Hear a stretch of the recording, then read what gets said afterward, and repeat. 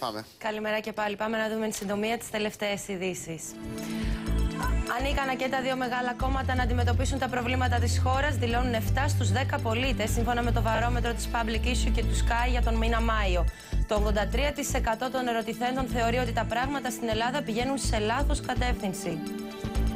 Συστάσει για συνένεση απίφθηναν σύμφωνα με πληροφορίες προς Νέα Δημοκρατία και Πασόκ οι εκπρόσωποι της Τρόικας.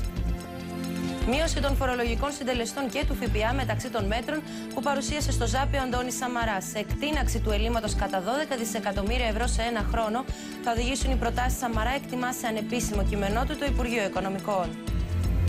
Στο μισό θα κοπούν οι προσλήψεις συμβασιούχων έως το 2015, ανακοίνωσε ο Υπουργός Εσωτερικών μετά την επίσκεψη των εκπροσώπων της Τρόικας. Συνάντηση με το κλιμάκιο της Τρόικας θα έχει σήμερα ο διοικητής της Τράπεζας της Ελλάδος Γιώργος Προβόπουλος.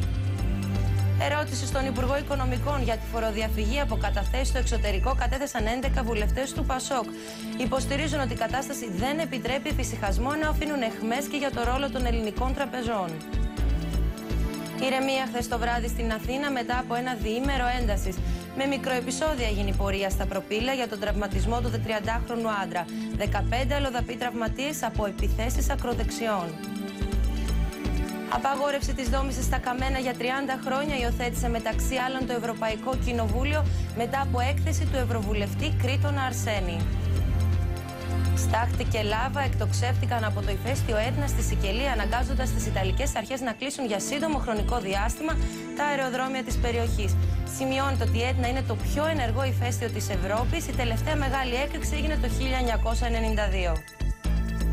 Για τη δεύτερη αγωνιστική των play-off της Super League, οι Σόπαλοι 1-1 αναδείχθηκαν Παναθηναϊκός και ΑΕΚ, 2-1 επικράτησε ο ΠΑΠ του Ολυμπιακού Βόλου. Πολύ ωραία.